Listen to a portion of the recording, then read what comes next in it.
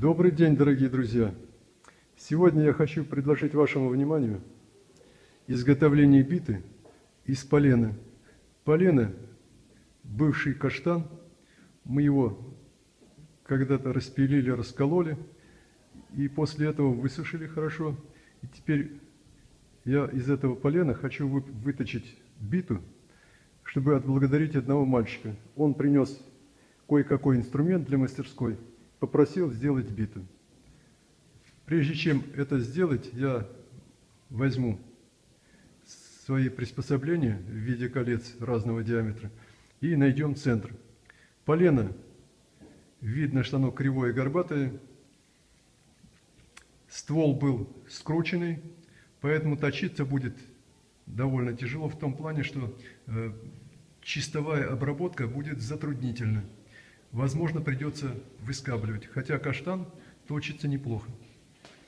Начнем разго... Э, разметку заготовки.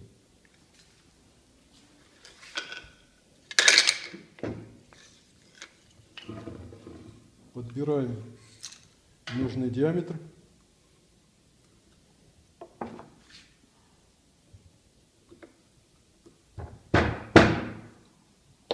накалываем шилом. С этой стороны поменьше. Здесь у нас, я полагаю, будет ручка с этой стороны.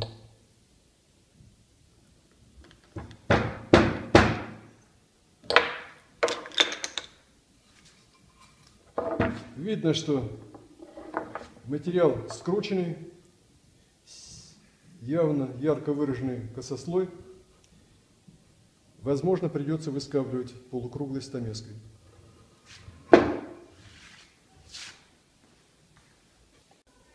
А теперь приступаем к работе. Я взял шайбу специальную, которую нашел. Ставим ее на задний центр, подпираем. Шайба нужна для того, чтобы не расколоть и не ушел задний центр. И не расколоть заготовки.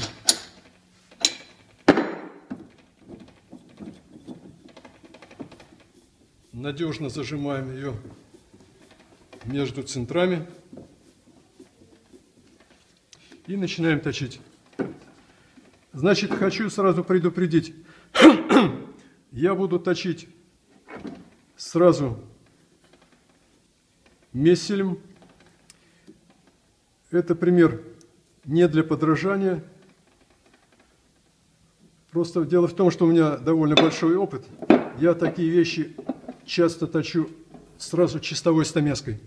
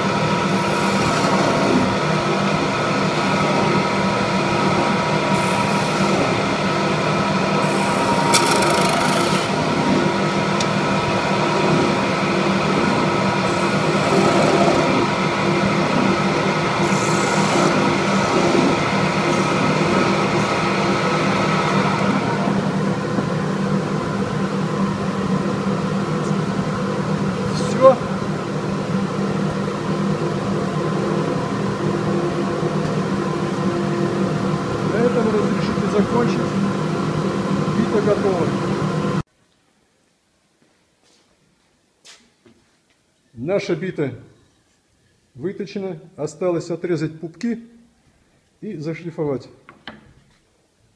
Берем ножовку по металлу, положили подкладную доску. Я уже говорил, подкладная доска у меня цепляется этим бруском за крышку верстака и очень удобно работать.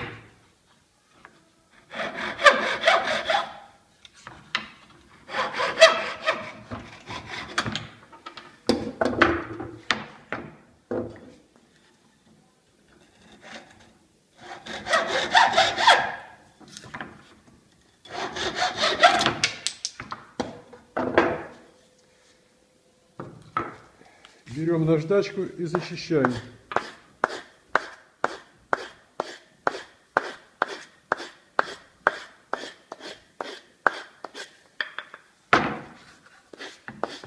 Материал не самый хороший, но учитывая, что это дерево, я думаю, что парень будет рад. Он давно просил у меня эту биту. Выточилось довольно хорошо. На этом разрешите закончить. До скорых встреч!